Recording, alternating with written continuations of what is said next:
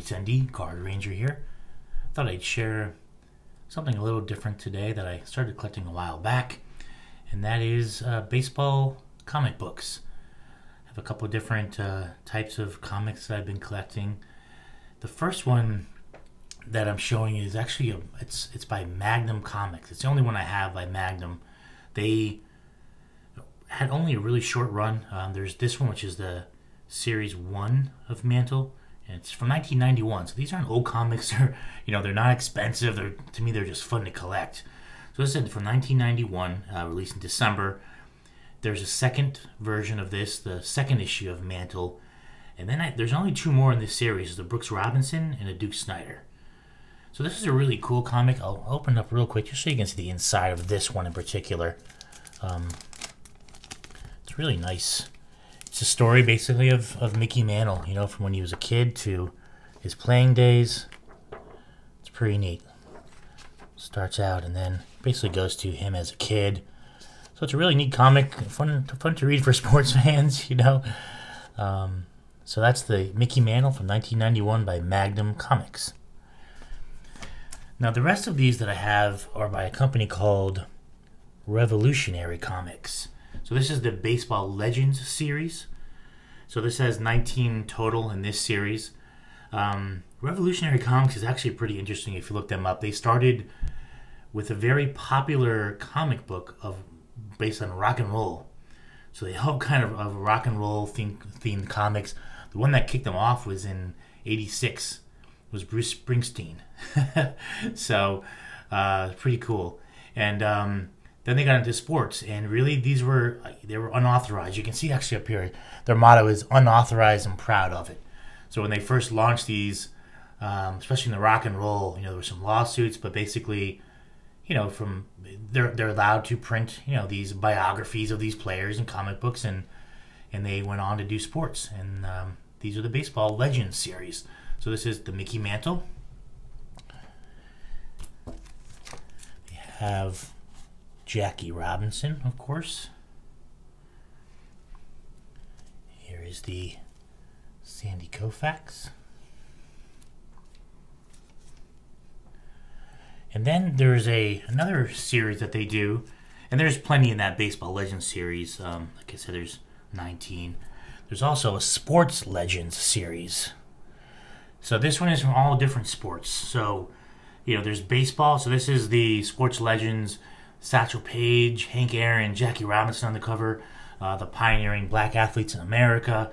But in the sports legends series, there's you know Joe Louis and Gordie Howe and Wilt Chamberlain and Walt Pay- Walter Payton. So from all different sports, I think even like Arthur Ashe, things like that.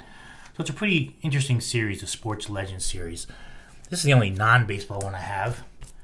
And this is also the Sports Legends series, and that's Gordie Howe. Pretty cool. So a, lot, a lot of fun. A lot of fun to collect and read through. And this is this starts this baseball superstars series. This is one I have the most from, and this is the one I'm kind of collecting first, as long as well as the baseball legends.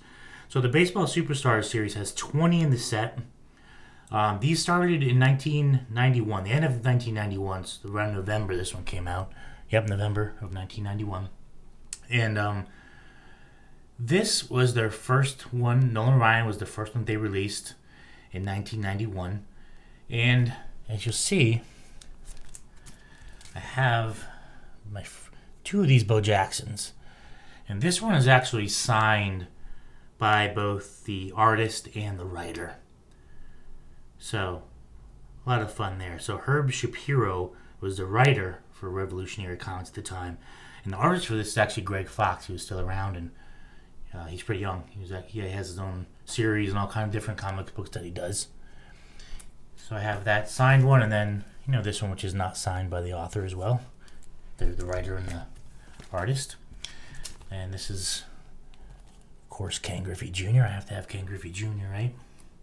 Now these are not uh, color comics, but they are factual. So you know this whole line goes through, and it's just a factual comic, quote comic book of you know their their stories, their factual stories um, of the players from when they started as kids through their careers.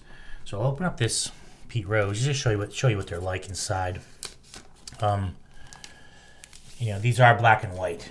Uh, these revolutionary comics. So, but you can see it starts. You know, when he's a kid, goes through his career, all the way through his draft, and all all kinds of cool information about Pete Rose. Um, you can read through, and a lot of fun. So they're really fun to collect. At least, at least I enjoy them. so this is the Rickey Henderson. And then we have Jose Canseco.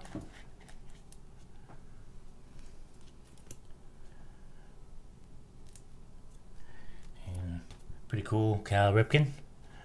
So the artwork is really, really nice. Other, you know, others it's, you know, the artist did change, so they do look a little different, but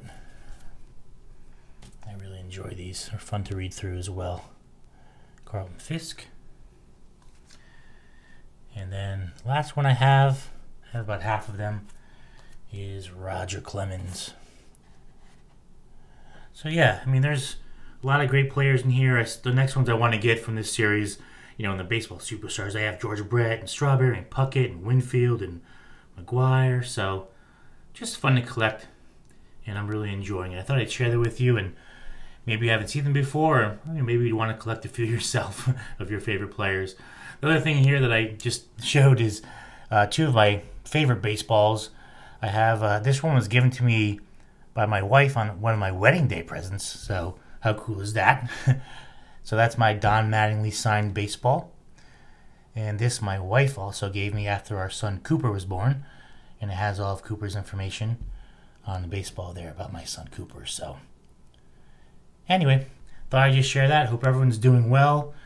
I know uh, you know, people are inside. It's, um, I don't want to say it's rough because it could be worse, but um, you know, I'm hoping everyone's doing well and just staying healthy.